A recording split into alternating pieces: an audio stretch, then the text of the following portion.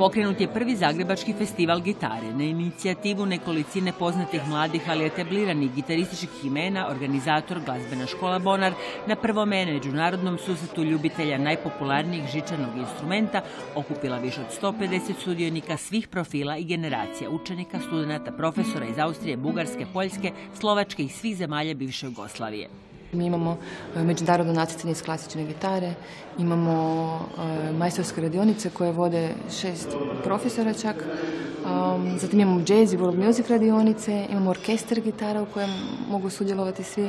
Studentski centar u sajam gitare ispunjen je orkestralnim radionicama vrhunskih pedagoga i gitarističkih majstora kao što su Dževdica Hadžija, Zoran Dukić, Ante Čagalj, Boško Jović, Ante Gelo i Petri Čeku ne mogu dovoljno izraziti svoje divljenje sa kvalitetom sviranja gitare u Hrvatskoj. E, to mogu reći sa kompetentnošću s obzirom da majstorske tečajeve držim posvuda e, po svijetu.